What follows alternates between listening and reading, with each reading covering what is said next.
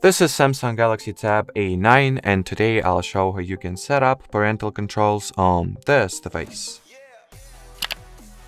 So to start you will need to launch settings. Here find and enter the accounts category or accounts and backup to be precise.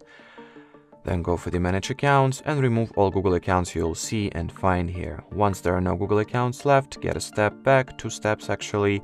Here enter the Google category of settings this time, then tap at the parental controls, get started, child or teenager, next.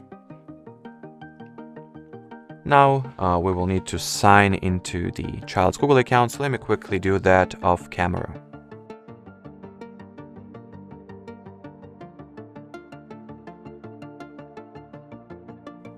Once the child's Google account has been successfully logged into, select it from this menu here.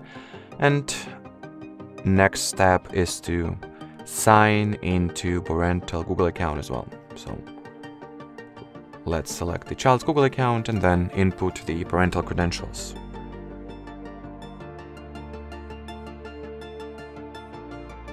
Once the parental Google account will be checked su successfully, you will be forwarded to the next step of this setup, called About Supervision.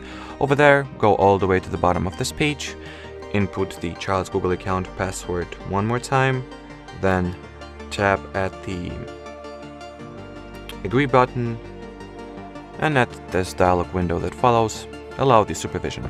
Now wait about 5 to 10 to 15 seconds max for the parental and child accounts to get linked together and we can pretty much finish the setup on the child's end since all those following steps are purely optional so I'll personally will not change those preferences as for now but well, you do you. If you want to you can absolutely configure those that settings and preferences now. Anyway uh, now you'll need to take your parental device and install the Google Family Link application on it. Launch the app once it is installed here be attentive and careful to sign in using the correct parental Google account, and that'll be it, the setup is successfully finished. So thanks for watching, thanks for your attention, and bye bye.